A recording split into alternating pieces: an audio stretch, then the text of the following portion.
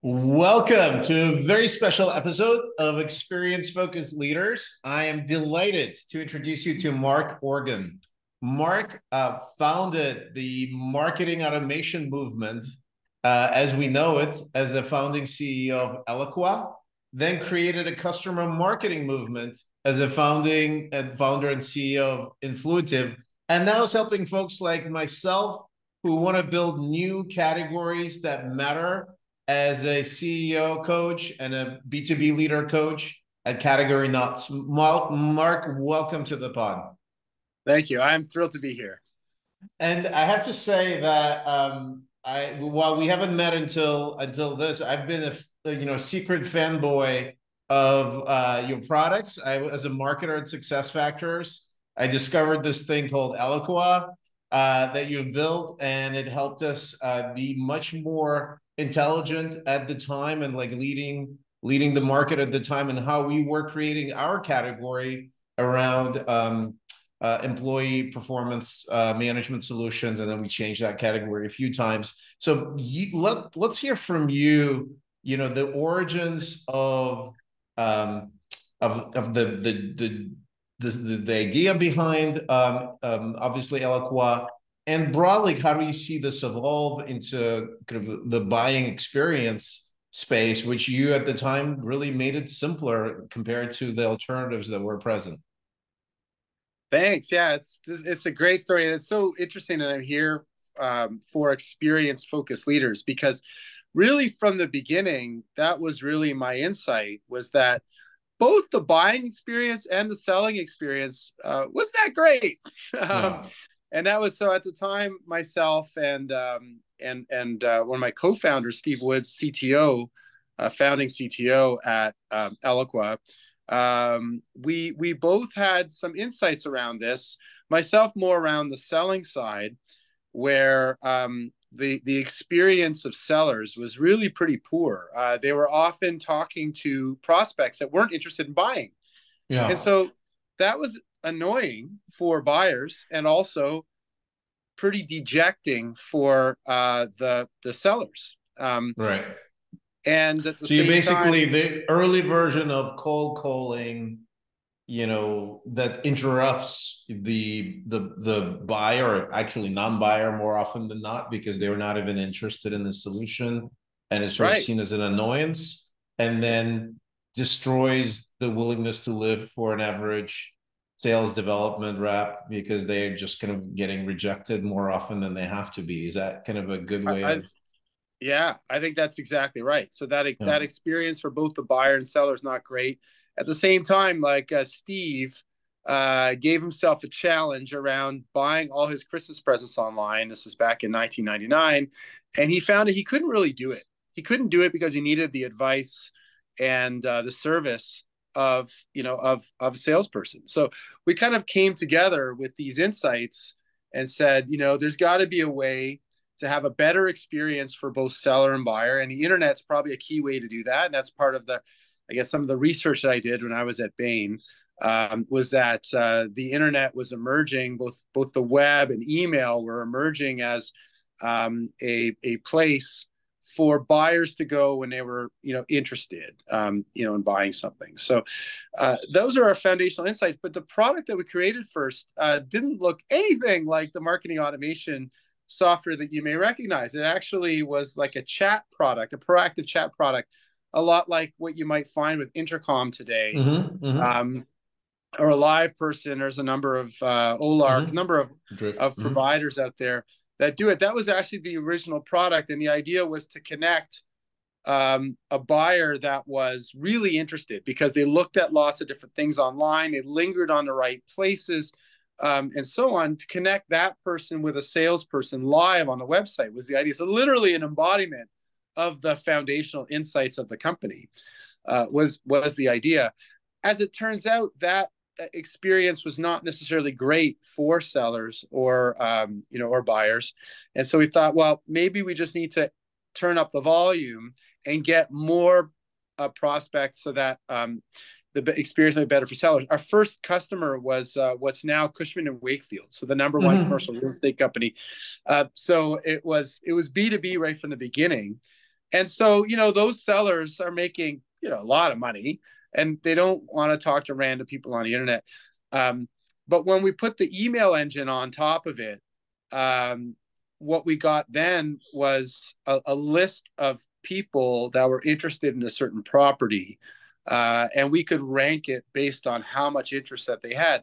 So that became really interesting. So now the sellers could actually call the first three or four folks in order that actually became the minimal viable product um, of the company. So it was kind of lucky that the because we were focused on B2B and and it was a proactive chat product, we, we needed all this pretty sophisticated analytics to understand um, what um, uh, you know what territory a prospect was in, what they were interested in, so we could connect them with the right person and as a result we built a product that was completely different from everything else at the time like different from every other marketing automation tool mm-hmm. different from other chat tools different from other email marketing tools because of the target market that we had and the problem that we were trying to solve ended up being really different now what's interesting though was that nobody else thought this was interesting at all so all the mm-hmm. analysts thought we were crazy and that we were in all these different categories it didn't make any sense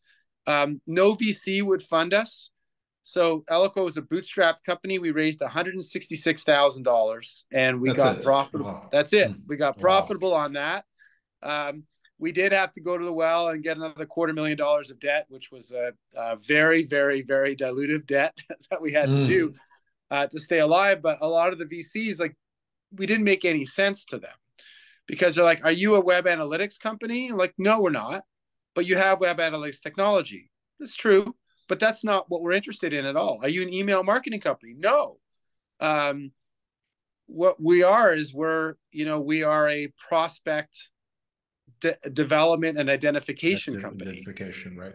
And and that's and were really you doing activation? You were doing activation at that time, right? Like, or is that did that emerge over time, or were you just like really identifying first who is what interested in what, or did you start um, nurturing, you know, in the early stages of yeah. the. Well, I, I, wish I could say how brilliant we were and yeah. how we discovered this category. The bottom line, the, the, truth is that we had no idea what we were doing at all. Right. Um, right. Like uh, most, uh, you know, early stage companies where the oldest person in the company was 25. Um, you know, we were honestly just trying to survive another quarter. We, we were a bootstrapped company. Uh, we were barely surviving. We almost went bankrupt four times. Mm. Um, and so, uh, you know, it, and I could definitely tell a story of sort of how we got profitable, but it, it actually wasn't until we, by accident, discovered who we were. And it's because we won a, a really interesting customer called JBoss. Mm-hmm. And, and JBoss was one of the leaders in open source software at the time. So their peers, uh, not competitors, but peers would be companies like Red Hat, uh, as an example, um, or or MySQL is mm-hmm. another one, right? These are open source application companies. And so we won JBoss, and open source software companies are different from your typical software companies in that they don't really have to generate more leads. Uh, they need to prioritize which leads are most valuable because they've got zillions of leads. They've got all right. these people using their product for free. Their business model is to sell them services. And so what happened at JBoss is we inflected the sales like this mm. because before their SDRs were calling on prospects at random right. or whatever, like, oh, this company looks big and interesting. Let's call on them. And all of a sudden, they went from that to um, calling the right people in order about the things that they were interested in.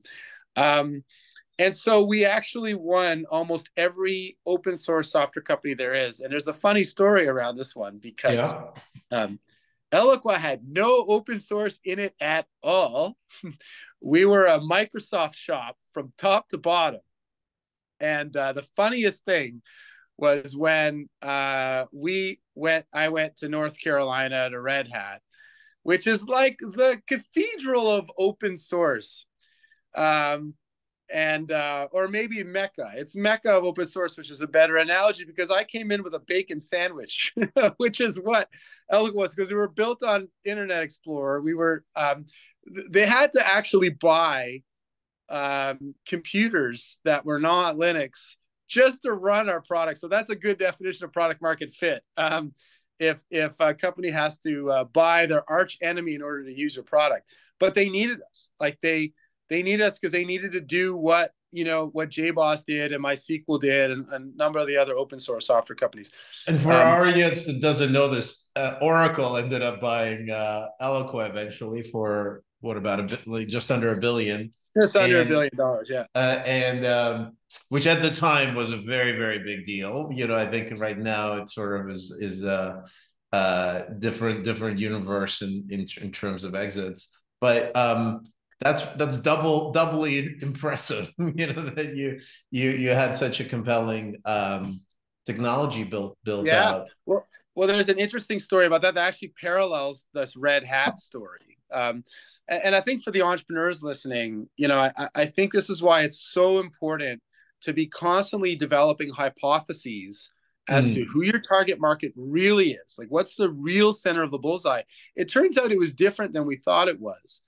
Um, you know what is the real offering that you have? What's the ideal pricing and packaging and messaging? Um, because if you're really listening um, and developing hypotheses a lot and testing them then the answer becomes clear. And once you get that answer boom right? At that point we knew exactly who we were how to message. We changed our pricing. We changed our packaging. We changed our messaging. Um, and we started to grow faster even before we raised money. We were growing faster on a bigger base because we figured out again completely by accident like the same way that you know post-it notes were an accident right? Yeah. but there was a smart scientist who said hang on a second this adhesive that's not actually very good adhesive may actually be useful for something else and, and i think a good entrepreneur is, is thinking about that too but with respect to oracle the reason why they bought the company you mentioned that you were uh, in in uh, HR or employees software, right? So you're probably familiar with success factors. Well, I, that's where I, that's where I was. Yeah. Okay, so here's yeah. a funny story about success factors at Oracle, and I guess I can say this now. Probably for a while, you probably couldn't say this in public, but um, uh, as Oracle likes to do, they botched that acquisition of success factors big time um, because they uh, actually turned off their revenue engine, which was Salesforce and Eloqua and some other tools. And they said we should use our own fusion tools. Um, and and they they they really destroyed over a billion dollars of value because you know Safra Catz said, "Hey, what is going on? Like Success Factors was doing this, and now it's doing this. What happened?" And you so, mean you mean you know, PeopleSoft? You mean Mark? You mean PeopleSoft? Just to clarify, right?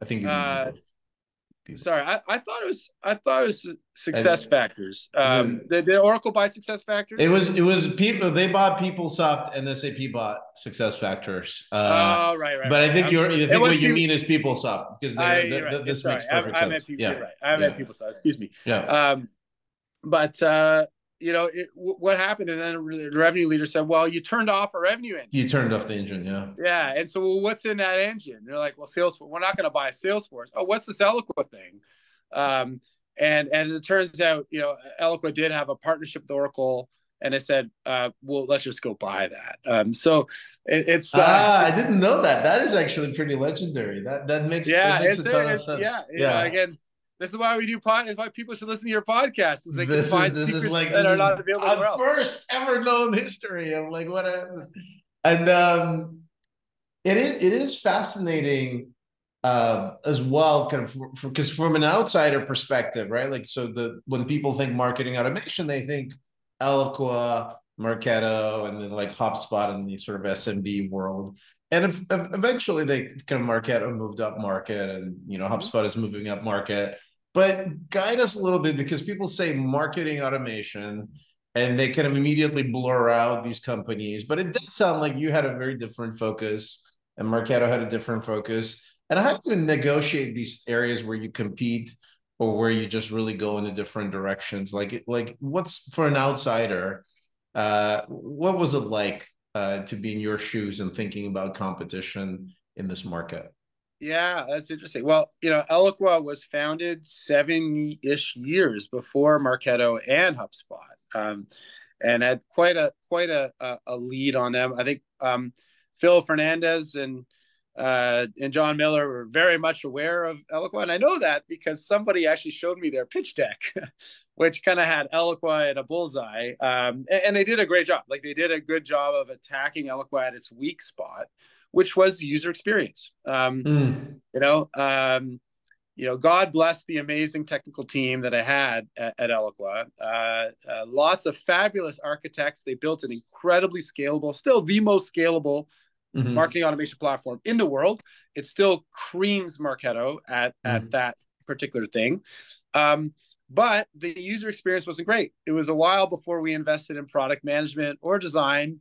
Right. Uh, we yeah. were we were a heavy, heavy engineering focused shop, um, and based in Toronto.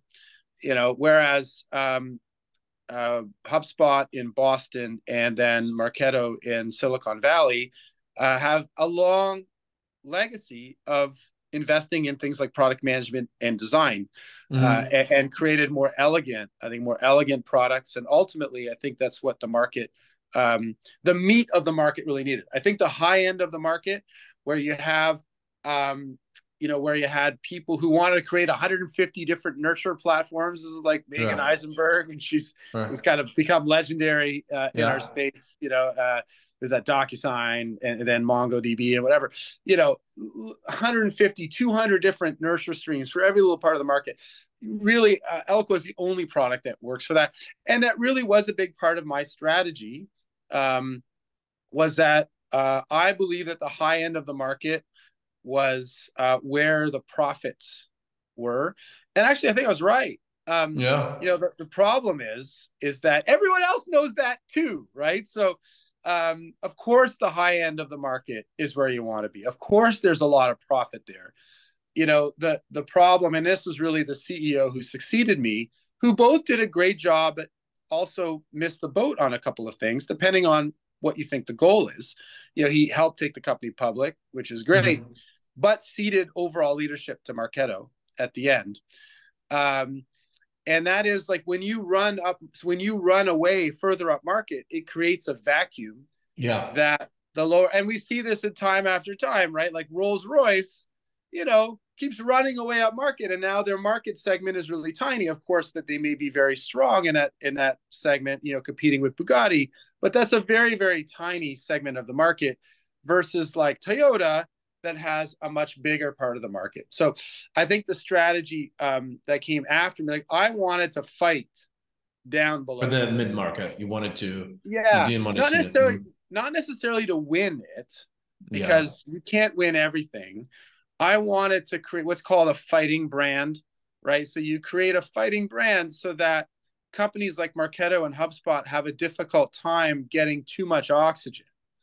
Um, but I think what happened, uh, you know, after I left 2007, um, was that hey, uh, and at the time there was a recession, so I get it. 2008, there's a recession. Let's focus on the most profitable segments, which is the high end of the market. Yeah, that did leave a vacuum. So in the end, everyone actually did succeed. Like Eloqua did go public. So the shareholders of the company got, I think, what it is that they wanted. Um, Marketo also won they actually end up with a bigger market cap and then going public later. Ultimately, I think they ended up being the category king.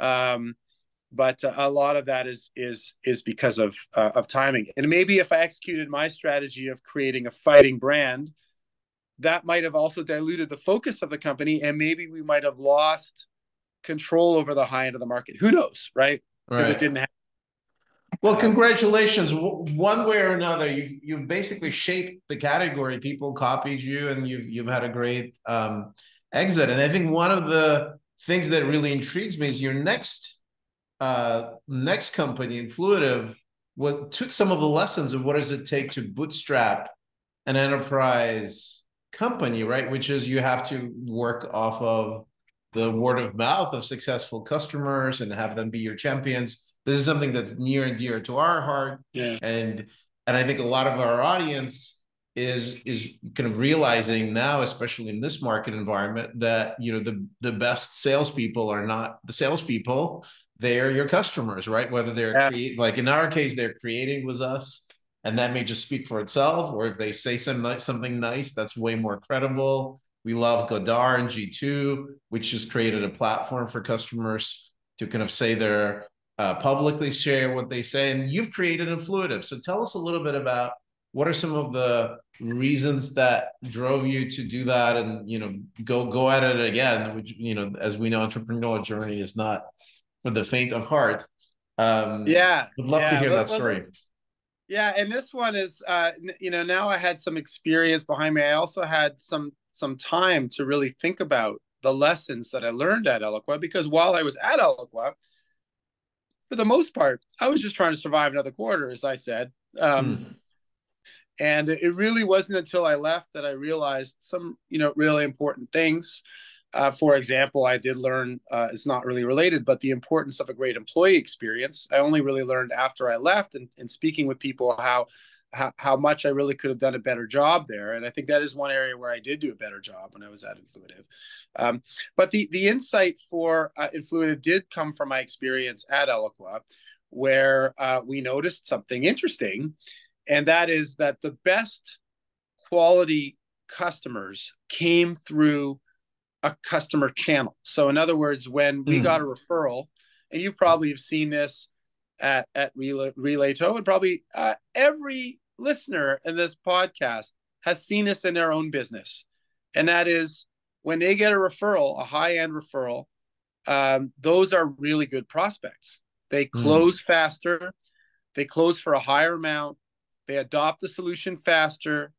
Uh, and actually, they're more likely to become a customer advocate themselves. It's like customer advocacy is like kind of a beneficial virus that way. Yeah, yeah. Um, and uh, you know, not just referrals. You know, um, if you want to close deals faster, if you get a reference call, one-to-one reference call in there, they close faster. If you've got the right case studies on your website, if you've got now you've got G2 um, and Trust Radius and and Gartner Peer Insights type of things going on, when when prospects are seeing those and it resonates with them, they're much more likely to become uh, not just a customer but a successful customer. So this is something that we uh, realized, like many other companies and many other leaders do. And so the question is, well, how do we get more of this? How do we get more right. customer advocacy? And it turns out it's not an easy problem. And you may have noticed that in your own business that you want to get like, oh, let's double the number of referrals that we get. Well, that's hard. Um, yeah. It's not easy to get more referrals. Um, it's not easy to get customer advocates to sign up to be a reference call.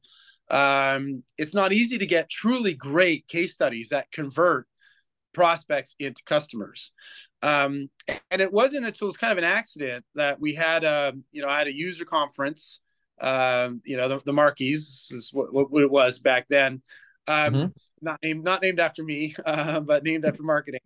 Uh, and what we noticed was when we provided this amazing experience for customers, where you gave them a glass of champagne and a fancy hors d'oeuvre, and you and you celebrated them with trophies and videos and all this kind of stuff, they came. Their reaction was to advocate a lot more. Mm-hmm. Okay, and again, this is why it's important. Like we got to be paying attention to these things, right? That was really interesting. It was unexpected. Uh, mm. That wasn't our goal. Our goal wasn't to generate advocacy. Our goal was just to celebrate our customers and make them feel good.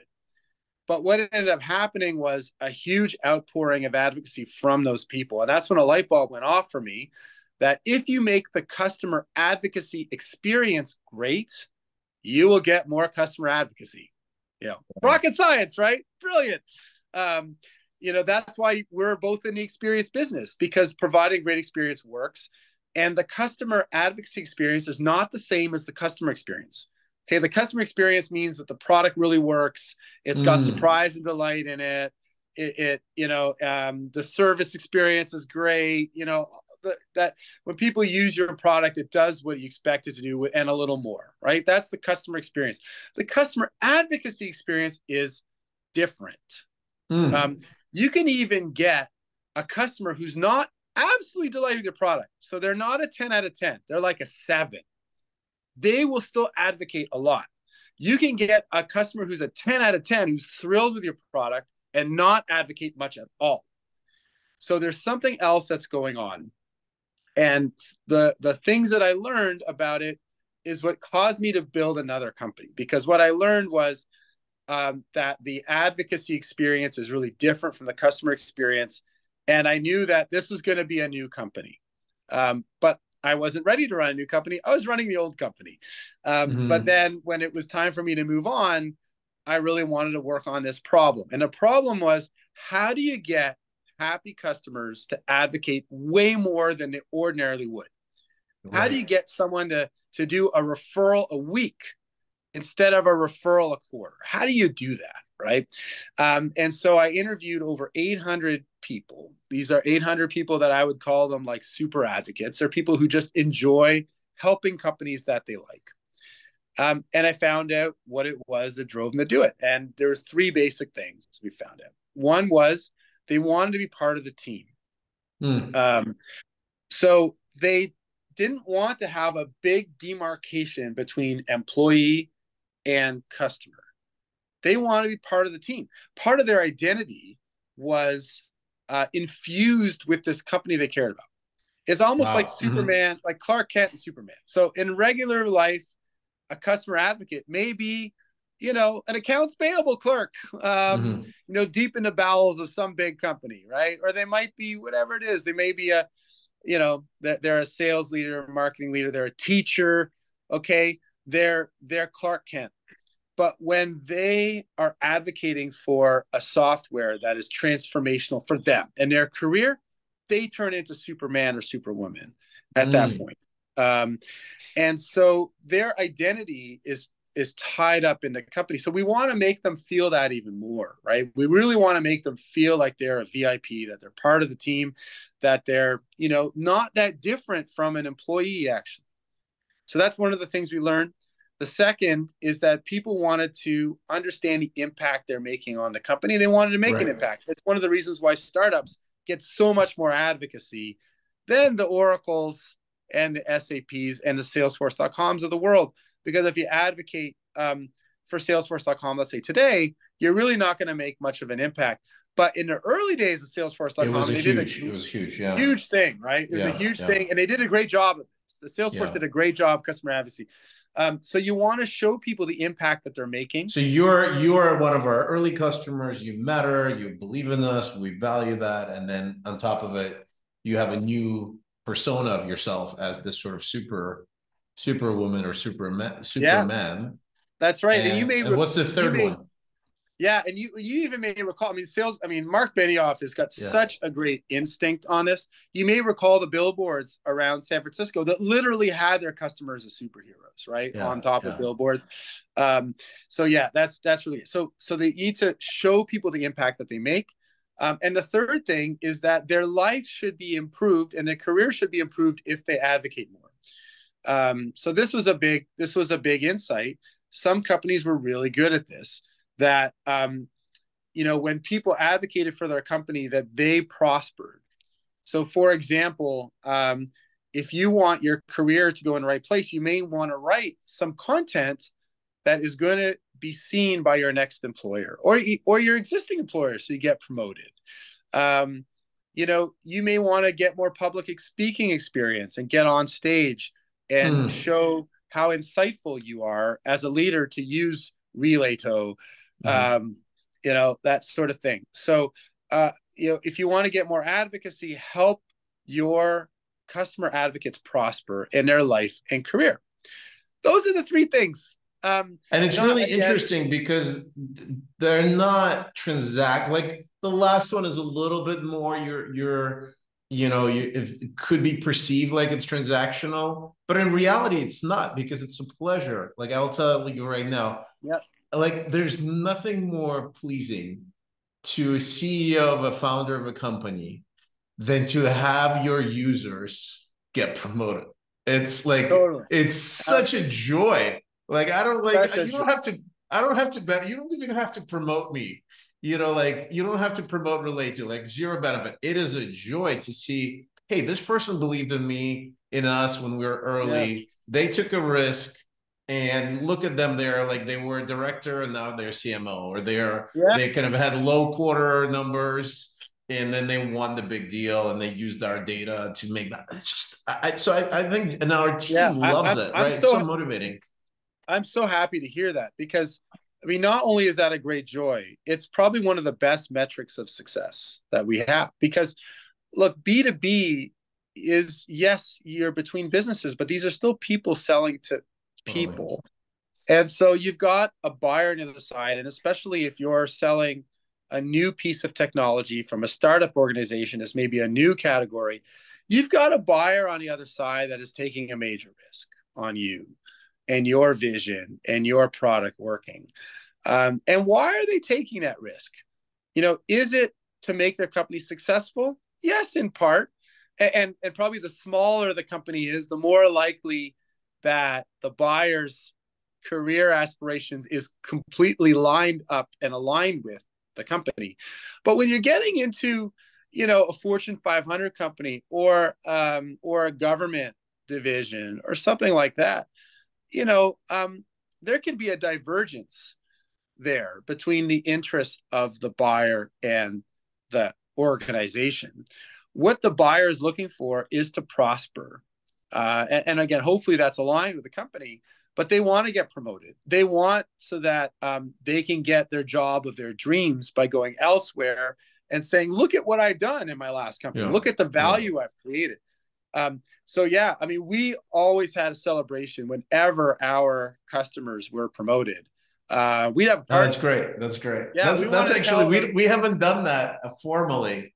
That's a great idea. I wish everybody could kind of uh, write that down. Uh, yeah, yeah. We have a celebration. We'd we'd have the person promoted record audio or video. We would play that in front of the whole company. We would invite them to our to our all hands meetings, and nothing got people fired, especially engineers. You know, a lot of engineers are kind of jaded cynical um, view of the world. Yeah, right? yeah. cynical. They've yeah. heard all this before. They're kind of allergic to sales speak. Let me tell you, when you have someone saying, "I got promoted because of your amazing technology."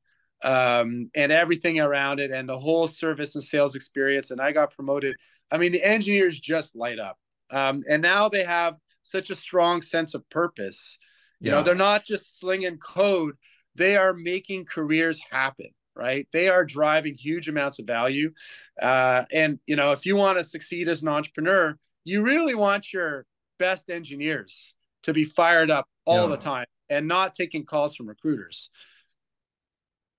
Yeah, and I think I think you know we're very privileged, um, and I think many people are maybe that like their product can itself generate meaning. So we're you know kind of in the in that extension of the buyer experience journey that you said like where we can take the you know content that would like you know normally you know suck the suck the light out of you like reading like 200 page pdf on a phone or something like that or you know is really painful to create and you don't feel proud of if you're as a creator. We make that come to life. And so we're delighted at that. It's like we're reinventing the book um and so sometimes we can tend to have a can forget that like we get so excited about our mission that you know hey it's separate from that. As exciting as that mission is whether it's for us or for our customers there's these people for whom like the, this this moves the needle uh, of their career as well. Yeah.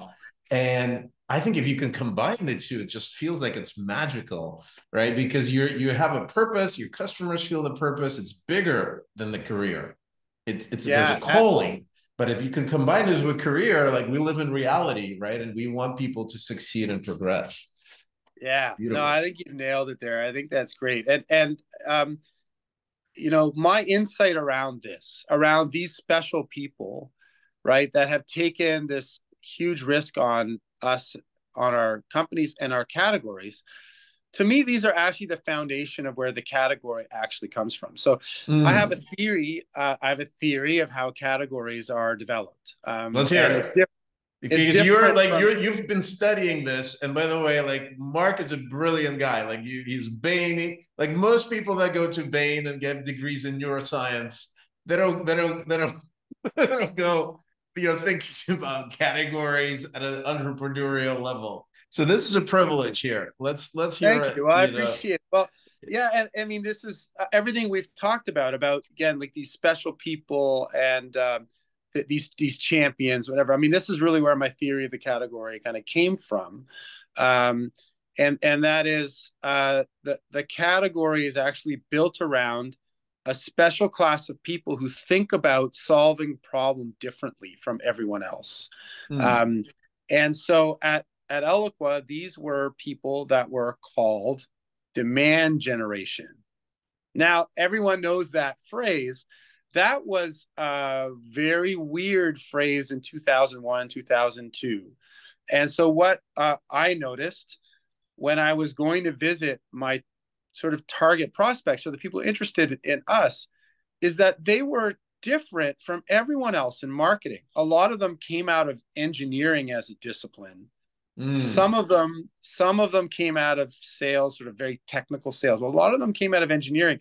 And, and what was going on was that you had the CEOs, some visionary CEOs of companies that realized in the early 2000s that the internet was going to change everything in the in go to market.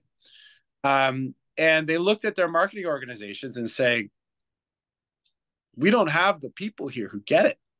Mm. Um, and so they would take someone brilliant from another organization and they would say, you got to figure out how we use the internet to to drive demand because again at the same time uh, you know, the rise of the internet as a platform, but also a brutal recession. Right. 2001, 2002, 2003. There's no budget. Marketing budgets were cut by 80, 90%. Um, in some cases, cut to nothing. Right. So all of a sudden, we went from a demand rich environment in 1998, 1999 to a demand poor environment in 2001, 2002, 2003. And so the CEO said, hey, use the internet, figure out how to drive more demand demand proactively. And so we'd go to these people's offices and they would have whiteboards with funnels on it and they would have flow charts and they right. would have formulas. Like they wouldn't have like Pantone colors and slogans. Right. Um, so this is like were, change in marketing from brand, like maybe product focus to this sort of to this engineering flow mentality. Uh, exactly. Okay, got it. Exactly. Yeah, exactly. Um, and they didn't even say, well, yeah, we're in the marketing department. That's not what we do, right? What we do is we generate demand for a living. Um, so our first category was called demand gen automation. It's kind of clumsy, demand generation automation. It's demand gen automation. That was the original category, and it was focused on a very small segment of the market mm. maybe 5%. I mean, it was really tiny.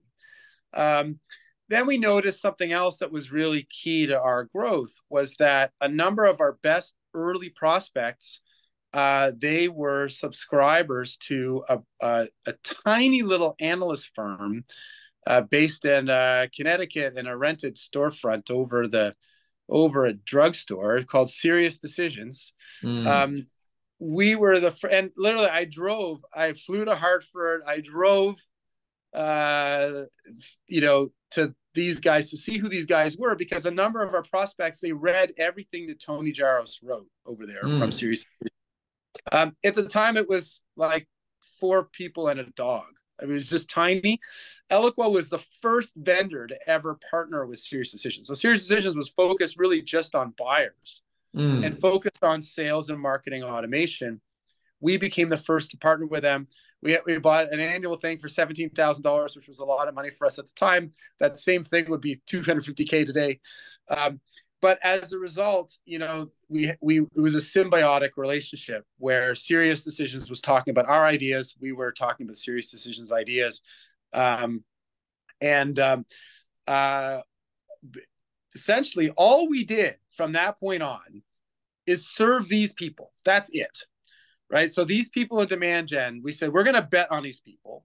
We think that one day most of marketing is going to look like this. It's going to be more technical, yeah. it's more process oriented, it's going to have like repeatability, auditability, all these things. We're going to get away from mushy marketing and towards something that's much more measurable. Turns out that was true. And then all we did was say, okay, we're not just going to give these people a product. We're going to give them analyst support, as I mentioned, SiriusDecisions. We're going to give them a community that became Topliners. We're going to give them a award ceremony that was Markies. We're going to give them an ecosystem, uh, and and that was App Cloud. um, and basically just give them everything, these people, everything they needed to accelerate their career. Right. That's so what you're saying is there's a persona that's emerging and you're filling it like around a particular trend that's sort of a mega trend um, and then you're wrapping you're then just enabling a combination of the uh, that persona succeeding and kind of capturing that trend. You didn't invent the trend. The trend was there. Exactly. Uh, you know like you didn't invent the persona. The persona was there. You're just there to serve them in yeah, in their journey. and, and hopefully you've done a good job and you've picked um, yeah. you've picked something with legs. The great thing about this model of category development is even if you're wrong, you still end up doing okay by dominating a category. Um, and I've I've seen it with uh, this buddy of mine uh, that um, he was a top sales guy at LinkedIn, and then he went to go and help his wife, who was a permanent makeup artist. Um, the, these are people they so women instead of applying makeup they can tattoo makeup on their face mm-hmm. so that's what she did. He's like i'm burned out from selling. I'm going to help my wife out in her little business. Um, and at the time we met i talked about my ideas around category development. He's like that's great. I'm going to do the same thing around these people. So all he did and his wife did is serve these permanent makeup artists and give them everything they needed. So not just product but services education certification uh, uh, an award ceremony, all this like right. the same platform, all the same components that I did at Eloqua. You know, today it's something like a $16 million business. Has never raised any venture capital at all. He and his wife own 100% of it. They could sell it to private equity today for $60 million. Um, you know, it's a massive outcome. And the, the, reason why it's interesting is that there still are not a lot of permanent makeup artists in the world. I mean, that category has grown. It's still it's a niche. So it's a niche it's, that you could turn. It's a niche. They just own 80% of that niche, right? And so when you own 80% of something, um, even if that something isn't that big, it's still pretty interesting. But you know, it's also interesting if you own 30 or 40% of something yeah. that's huge. Um, well, let's talk about something that's big. And I want to quote you from your book, which we didn't talk about. Yeah. Mark is the author of a book called The Messenger is the Message How to Mobilize Customers and then unleash the power of advocate marketing. But one of the quotes in there is near and dear to our audience, which is relates to kind of overwhelmed uh, attention spans. You know that you know we could say some marketing automation systems are leading to that a little bit these days. You know, every technology it can go a little bit sideways every now and again. But let, let me quote you and let's connect the dots for what's what do you see going on particularly around like the content to serve. So this is this is the quote. In the same way modern businesses have strip mined extracted and trolled the most valuable resource we have people's times and attention. Once a seemingly endless resource the attention of a customer is now scarce. Their time fragmented by hundreds of digital distractions a minute daily onslaught of sales messaging that overflows their inboxes, overwhelms their spirit. I love that. Companies must spend exponentially more money than they used to in order to grab that little ascension that's left. This investment generates yields that are barely profitable, completely uneconomic, and worse, dwindling.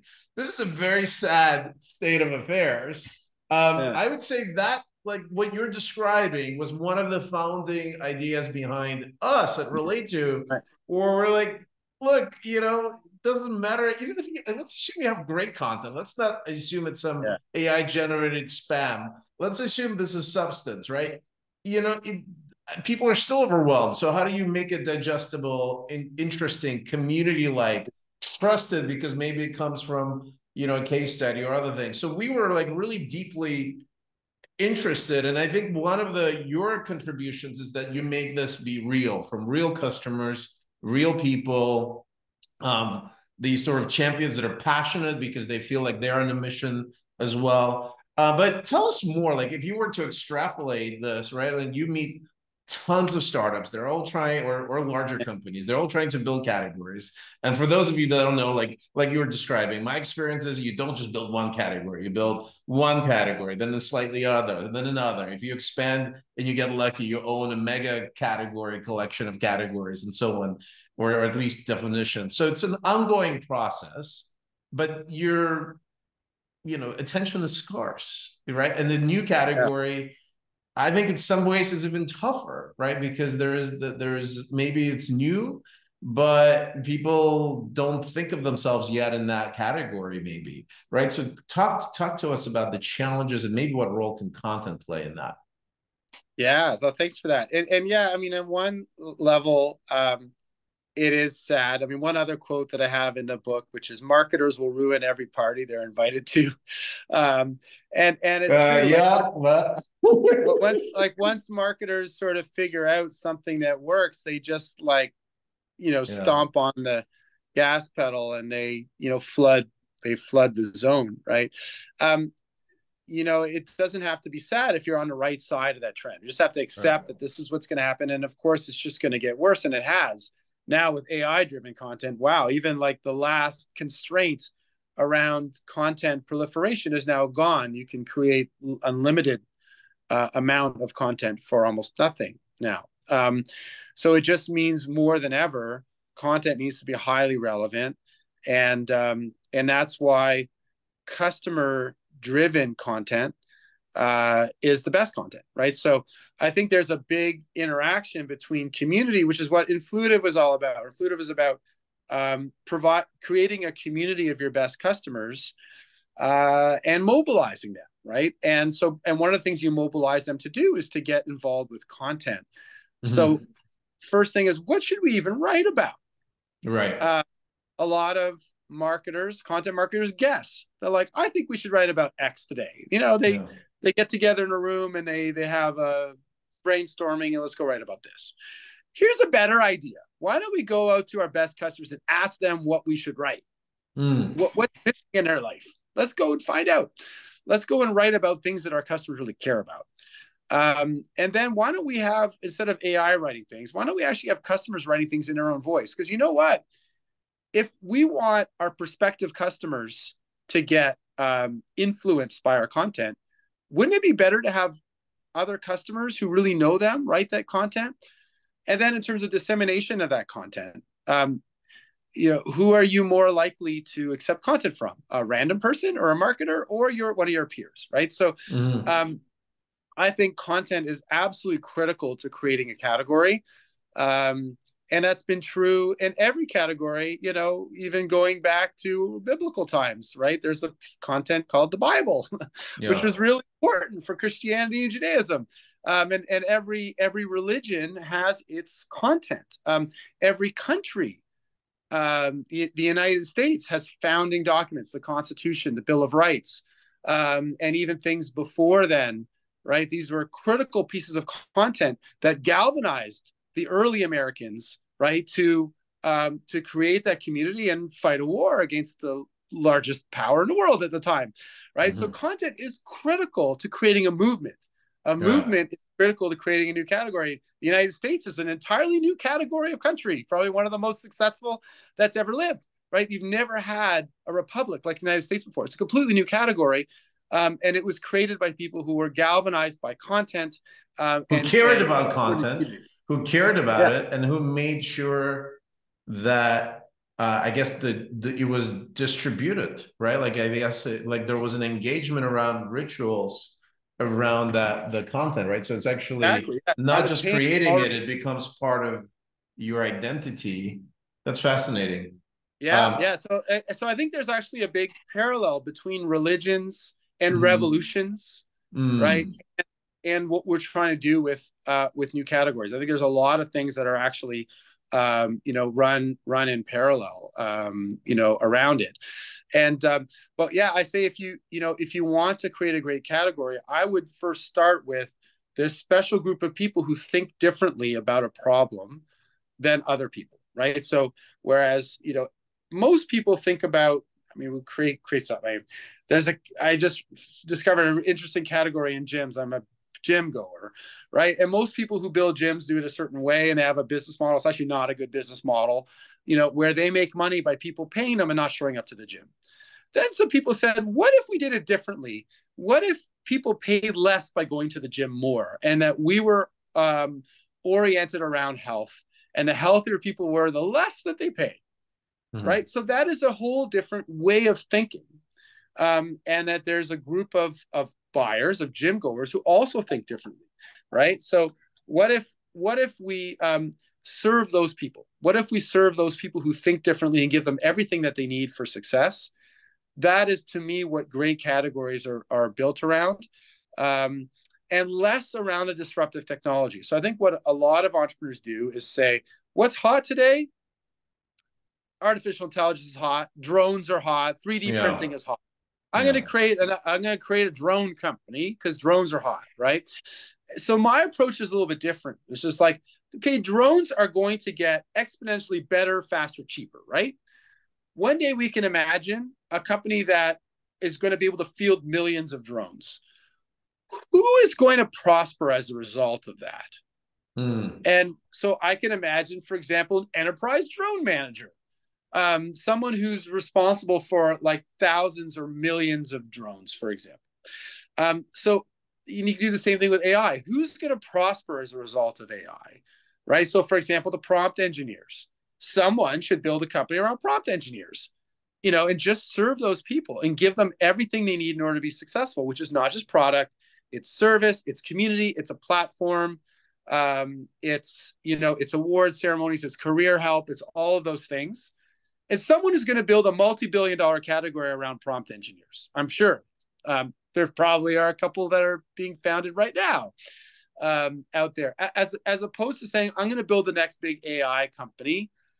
Um, so that's where I think my approach is. This been. is really interesting. Like one of our guests and kind of uh, friends of Relayto um, CEO of Alteryx, Dean Stoecker, when he was describing how they were shaping their category of um, kind of uh, I would say analytic automation. Eventually, that's became the kind of uh, the the category. They were describing yeah. that they were going for the sort of super powerful uh, VLOOKUP Excel power user right? That like that is sort of not quite, you know, ready to use the complex business intelligent tools, but like like basically was maximizing what you could do was Excel, and then you could you create superpowers for them.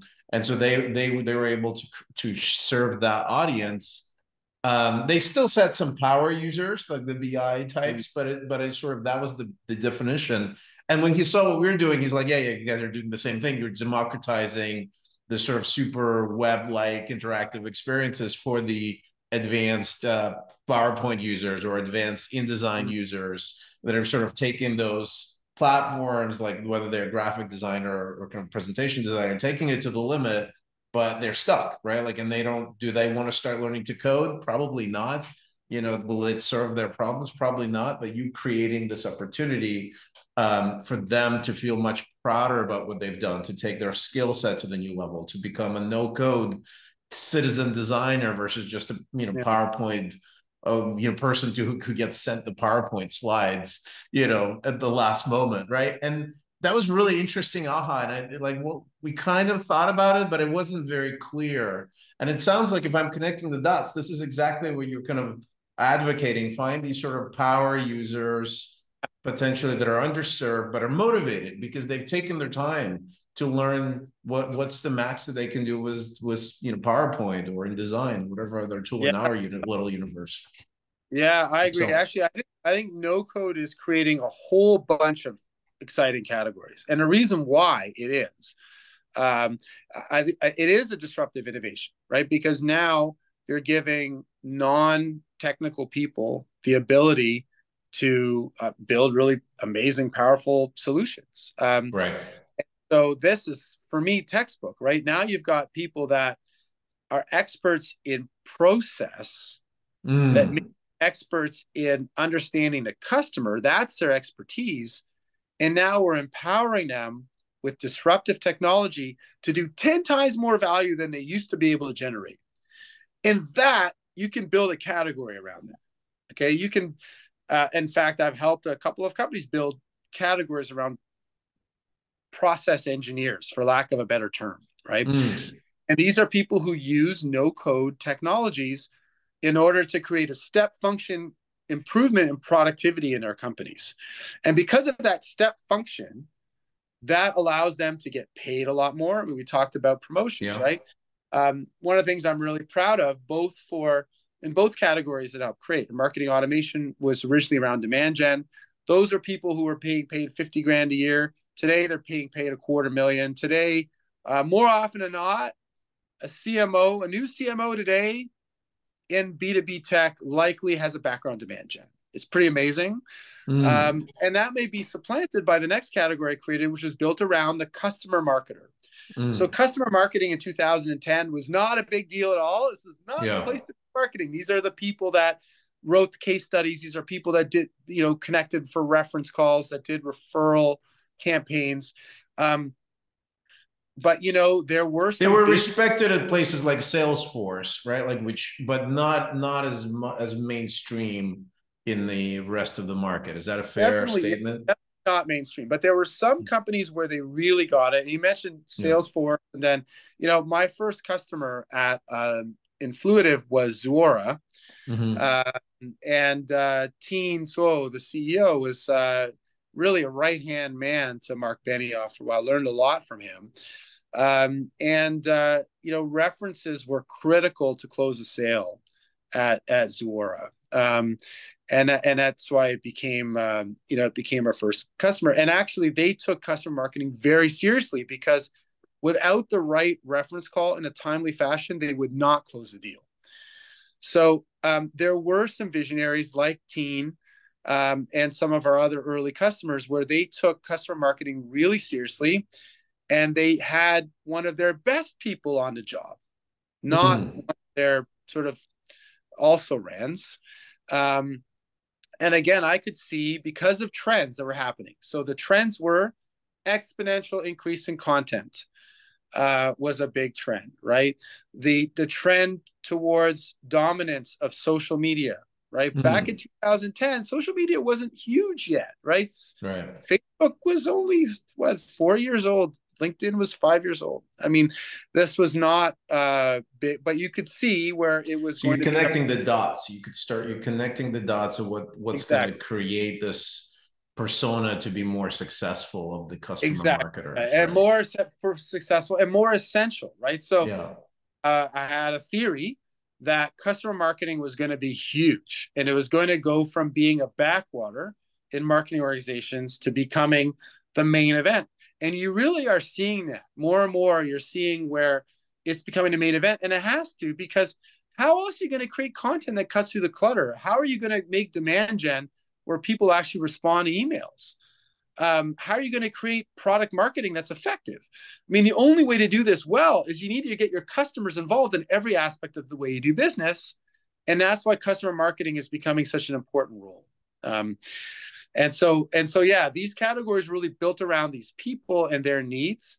And I would suggest to any, you know, entrepreneurs that are here listening, if you want to build a company, as opposed to falling in love with a product idea, which is what usually happens. You know, fall in love with um, a, a subcategory or a class of users that are really special, that really think differently. And because of disruptive technology and other trends, their star is going to rise. Bet on these people, just give them everything they need, and you can build a really great company. I mean, it takes a little longer, you know, so it takes, you know, in my experience, this is a decade like uh, you know, which sure. for a lot a long time. But the great thing is, honestly, it's one foot in front of the other.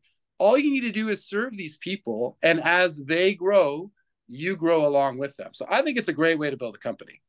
Well, this is a, this is a fantastic masterclass in going from the origins of, particularly was your focus over time on on the the, the marketing field of how kind of different categories emerge. Now, Mark, one last kind of piece of advice. Um, now is a tough time for many marketing organizations, right? Mm-hmm. So obviously, uh, customer marketing, as you pointed out at the or you know, advocate marketing could be more cost effective in in many ways, but still, like it's just, the environment is hard. New initiatives are hard. Um, you you know what what's your take on kind of how do you prioritize in this in this environment, right? Like where you're the CEO or you're the CMO um, in sort of in the B2B universe, you know, and you want to be kind of building a category, but at the same time, you know, you've got to take the low hanging fruit um, in in your kind of go to market. Yeah, yeah. I mean, and it's a very exciting time. I mean, uh, both companies that I founded were actually in recessions. Uh, uh, Eloqua, a deeper one in 2002, 2003, but but 2010 and 11 weren't weren't great years either. Um, but but I think that's actually an exciting time. This is an exciting time. Um, it's it's do or die time. You know, um, a lot of companies are not going to make it through what's happening, uh, especially in marketing tech. It's really rough out there. Uh, marketing budgets are really being cut. And I don't think we've seen the end of it because I'm not seeing a lot of bankruptcies yet. So, um, which we saw in 2008, which we saw in 2001, 2002. So I think it's going to get worse before it gets better. But that's an exciting opportunity because if we can just survive, that means that we're going to get to the other side of this and have a chance to build a big company. And so I still think that marketing the category first is a great idea. If you, you know, people still want to buy things that are disruptive, that are going to have the opportunity for a 10x improvement. What I'd say is really critical in this environment is that you need to make your category also about cost reduction and risk reduction. Right. Um, and you need the CFO to be a partner with you um, because right now the CFO is very powerful. They are cutting a lot of spend on technology. In many cases, they have to approve any new technology purchase. So we need to partner with those guys.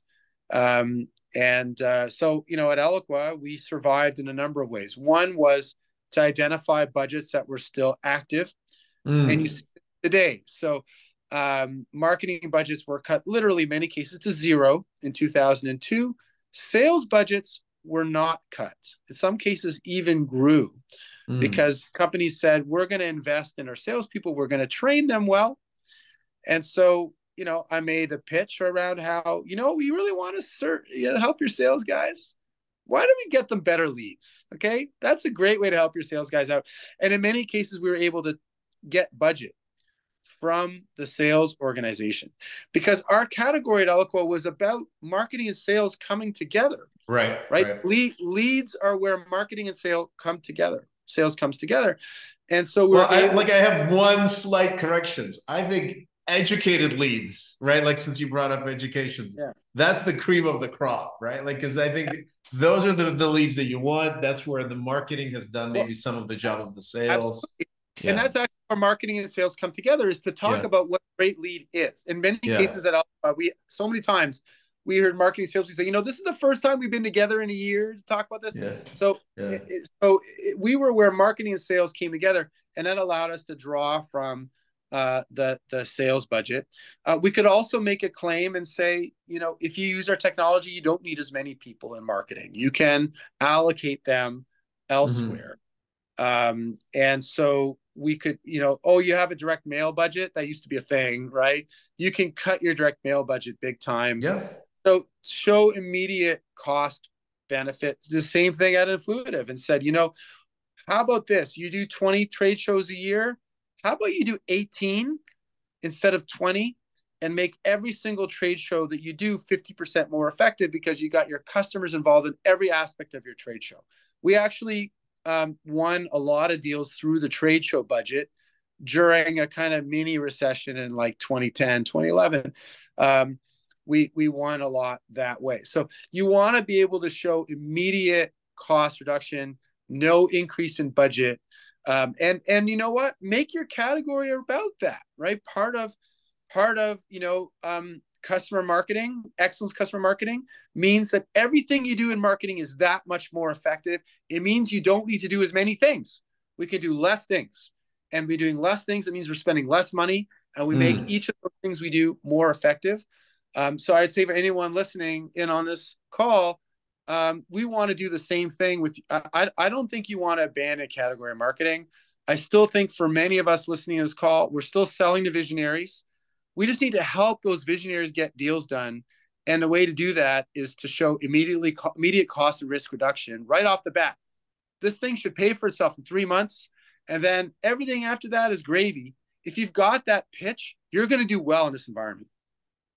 This is brilliant. And, uh, you know, I'm, I'm like applying some of these things in my own head. And one of the things we've been thinking about, but didn't really articulate yet, is like, what's the risk for the career risk, for example, for somebody doing marketing with, you know, downloadable PDFs and things like that, the way they were done, you know, 20 years ago or 15 years ago in this noisy, different environment, right? And that's, that's a, there's a, there's also a risk of wasted resources, you know, paying ads, you know, to land people into, you know, a landing page that doesn't convert because you, you know, the the there's nothing enticing at the end of that at the end of that conversion form and so on. And so but there, there's a risk to a career of being stagnant. There's a risk uh, to a company obviously of being ignored uh, and wasting you know ad spend. And so this is a you know very real and i think you know two years ago people would speak about it but it wasn't it was all grow grow grow. You know it was it was more like let's jump on this bandwagon it's new it's innovative. And especially as you know marketers sometimes like to try new things but i think there's a risk of sticking to old habits. And you know last kind of thing that we didn't touch on but you have this background in neuroscience you know and, and i'm just curious to see how how do you see this either affecting communications or community building? You know, like has like there's a lot of work in social psychology, neuroscience that we're trying to apply. You know, is this giving you this extra laser look at everything that you're doing? Um, and what kind of tips do you have from that kind of that expertise that you can uh, share with marketers and go-to market leaders? Sure. Yeah, and I can definitely tell a great story around this. But you know, um, my work in neuroscience was uh, focused on rats.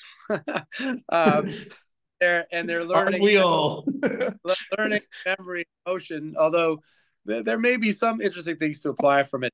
But but yeah, I mean, the reason why I got interested in neuroscience in the first place was I was interested in motivation. Right? What yeah. is it that motivates but you know once you go in when i started my phd all of a sudden it's like oh this is your tiny little area of the world that you're going to become experts in. Um, and and uh, and so i was a physiologist. I worked with rats. Um, but uh, but still that interest and motivation i think is uh, is interesting because as marketers and salespeople uh, ultimately our job is to persuade yeah. people into our way of thinking so that they make a decision to invest more in our ideas. It doesn't mean to buy our product, right? All we're trying to do, for example, uh, if if I if I right now, what am I doing here on this podcast? What I'm hoping I'm doing is that people who are listening to this are going to find my ideas intriguing and are going to want to invest in them. And that might mean reading a piece of my content. It might mean going to a forum on my website. I mean, um, uh, actually, you know, speaking of that, let's for those that are listening, paying attention. How can people reach you, Mark? Yeah. Before we before we do that, for... yeah. Well, well, I have a website at, uh, at categorynauts.com. So www.categorynauts.com. Uh, my email address is mark at categorynauts. Uh, you can reach me on LinkedIn. You can reach me on Twitter at uh, at, at um, Mark Organ on Twitter. Uh, lots of ways to go and and reach me. Um, but but yeah, that's you know what uh, uh, what I'm here to do is to persuade people. And the way to do that is to understand their mental models mm. and be able to work with those men either to change their mental model of, of, of how they think, uh, which I've done hopefully a little bit of that today. Uh, I hope that I've shifted people's thinking on how categories are developed. Yeah. Um, to focus more on these special people who think differently and work with them. That's really right part of my message today. Um, you know, so, but there's principles of neuroscience, of motivational psychology, of social psychology um, that uh, are at play. And there's some famous books now, you know, so a lot of people have read Influence by Robert Cialdini. Mm-hmm. One of the best business books of all time, I think, is something that literally everybody should read, not just for their business success, but if you want a better marriage, if you want to have more successful kids, um, and lots of other things, you should really know how to influence people to your way of thinking. And that's what the book talks about. It talks about social psychology principles that if you apply them, for example, the famous foot in the door technique, if you get somebody to give you uh, a little bit of compliance, then you can end up getting a lot of compliance later. So good marketers and salespeople use that principle. They they get a little bit of compliance. You know, um, uh, real like real estate salespeople will give out a magnet with their face on it. People accept that magnet. Oh, okay, now you've done that. Maybe it's time for the next thing. Um, you know, with, with, content marketing, for example, one of the innovations that uh, I had uh, at my company was uh, around this idea was to get people to provide a little bit of information, right? So, for example, just your favorite color and your first name. That's it. We're not going to get you to fill out a big form. Mm. And then all you do is you make the ebook that color. Now the ebook's purple. And now we address you by name, Alex.